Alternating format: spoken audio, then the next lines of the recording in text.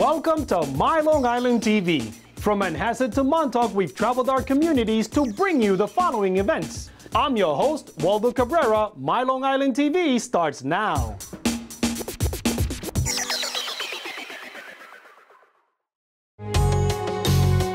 Because we're a federal facility, we're not open throughout the year. So on four Sundays of summer, we open up to the public. Today we're featuring the National Synchrotron Light Source 2. It's our newest facility. It's a massive building. It's a billion dollar investment by the United States Department of Energy and we'll be showing people what it does.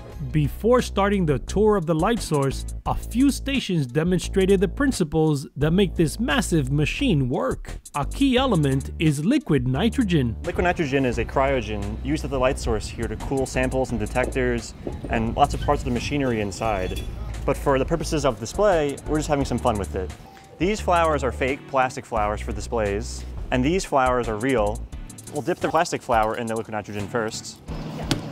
Nothing. So now we'll grab a real flower and we'll dip it in. The big difference between fake flowers and real flowers is that a fake flower has no water in it, and a real flower is full of water. So they behave a lot differently with the being frozen.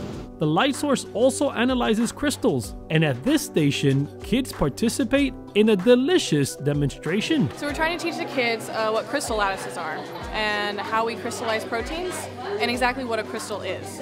So at the station next to us, we've got actual crystals. And our station, we just use gumdrops and toothpicks to represent uh, molecules and their bonds. And to help illustrate how the building works, there's a mini synchrotron. The vacuum pump is what takes out all the air from the ring, because if there's air in there, the electrons will stick to the air and not stick to each other. Then next, we turn on the magnets, and the magnets will steer the electrons and make sure that they're actually going in the circle. Otherwise, they can crash into a wall or not stay where they're supposed to. Then the next, we insert electrons into the beam, and then lastly, we can open the shutter, and that'll allow the, the light that's emitted from the from the electrons to flash into there and it'll go right into your sample.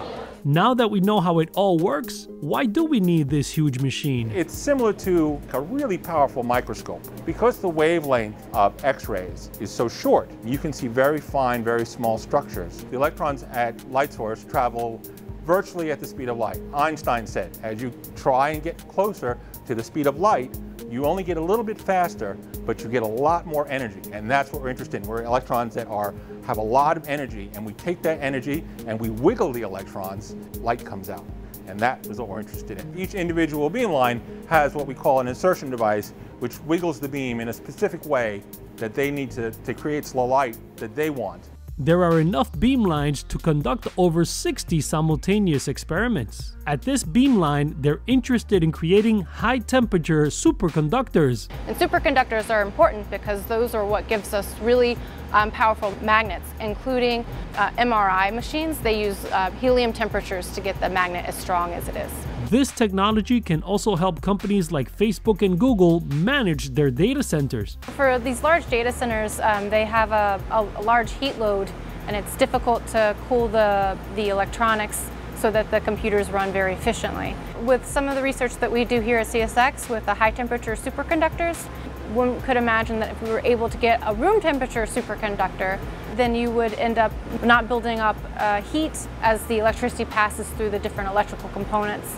The NSLS2 building is so large that the researchers use bicycles to get around. The ring is just really long and really wide, and if we don't have the trikes and it takes forever to get around. So every minute you waste walking is another minute you don't do research. Although all this technology is a lot to absorb, it was enthusiastically received by the visitors. I'm very excited. I love I don't even know what I'm looking at half the time, but that's fine. You know, you ask and people people are very enthusiastic to give some answers, so that's good.